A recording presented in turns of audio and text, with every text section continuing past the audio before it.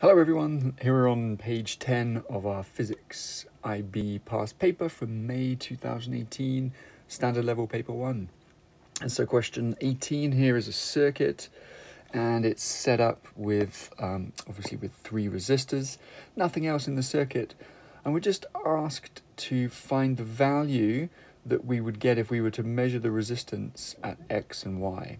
So essentially, we need to think about a couple of things. First of all, we need to think about what rule we would need to apply when looking at resistors in series. And the second thing we need to think about is what does that do to the resistance through the circuit at any point. Okay, so we're going to need to think about, or at least we need to have in the back of our minds our uh, data sheet here. So here's our data sheet from this section. And probably relevance here is just the, the measurements of resistance. So we have total resistance where we just add them all up or we have the reciprocal of all of the resistors added up. So using our two um, formulas from our datasheet, hopefully you can recall that if you have resistors in series, you're just going to go ahead and add them all together.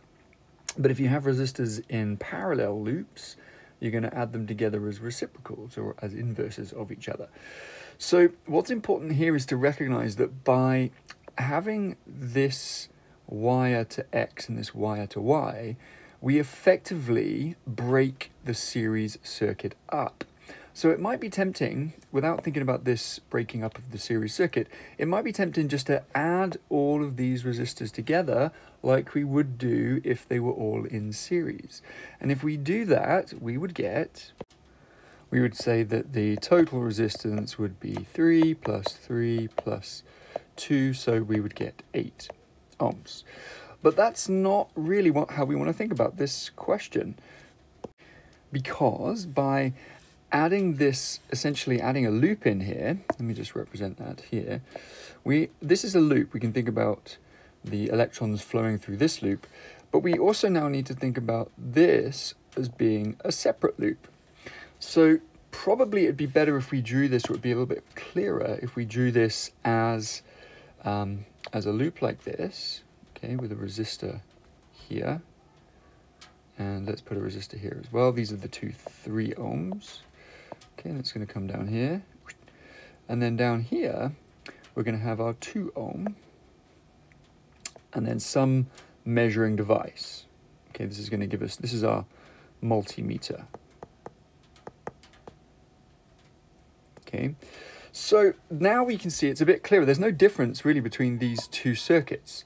Um, but what we can see here now is that this is obviously a parallel circuit with these two resistors added together. So this is how we want to think about it. If we do that, we're going to start writing our resistor equation like this we're going to say it's it because it's in parallel the total resistance or 1 over the total resistance is going to be equal to well first of all I have to take care of this guy here. So 1 over 2 plus 1 over this combined resistance here. So 3 plus 3 so in other words 1 over 6 and if I do that I get the resistance the total resistance to be 1 decimal 5 ohms. So there we go. Okay, so question 19. we have a liquid containing negative charges uh, that flow through this pipe, this square pipe.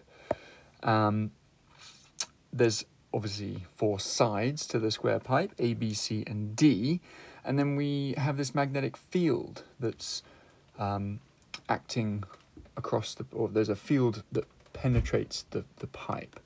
So we can see the, the diagram represents the direction of the liquid flow. So the direction of the liquid flow is coming out of the page, like this. So we would normally represent that as a dot. Um, and remember there's a charge in the, so there's this negative charge. So it's a negative charge in the liquid. Um, then we have this magnetic field. So the magnetic field direction is going from the right side of the page to the left side of the page. Obviously, that's passing through the pipe. And we're asked to uh, say which side of the pipe would the negative charge accumulate. So this is a moving charge through a magnetic field. And this at this point we need to bring our hand rules in play. And of course it's a negative charge. So we're going to be using our left hand rule. So this is our Fleming's left hand rule, LHR. And some people use the hand with the, the finger representing the force. I personally like to use the flat palm with the palm showing the force because I like to think about it as a push. And the, if you're going to push something, you wouldn't push it with a finger, you'd push it with the palm of your hand. So either way it works doesn't really matter as long as you get the bits of the hand correct. So what we will say is that, well, in this case, we've got the blue arrow representing the charge flow, and since it's, an, it's a left hand, uh, we would normally represent this as the electron direction of the electron flow. The red part of this diagram would represent the magnetic field direction, and then the green would represent the force experienced by the charge. Okay, if we used the other technique with the finger, then obviously the thumb is still going to represent the electrons. This green arrow would represent the magnetic field, and the red, in this case, would be the force. Okay, it doesn't matter which one you use. My preference is just to go with the palm. Okay, so now it's just a case of manipulating our hand to be geometrically aligned with our diagram. So I'm going to have to um, I'm going to have to take my hand here, rotate it around. I need the thumb to represent this flow of electrons coming out of the page. So it's going to be sort of like this. Um, if you can kind of imagine the thumb there, that's not going to quite work with the way I have this aligned, but I'll try and make it uh, clear. So I'm going to use blue here to represent these electrons. These are coming out of the page. Okay, this represents the flow. This B, this magnetic field, this is going to represent the flow from this, uh, the field direction going from right to left. And then hopefully you can see, even though this diagram is not perfect, the palm of the hand in this case is going to be upwards. So what this tells us is that the negative charge is going to feel a force or experience a force towards the top of the pipe, and therefore it's very likely to accumulate at the top of the pipe.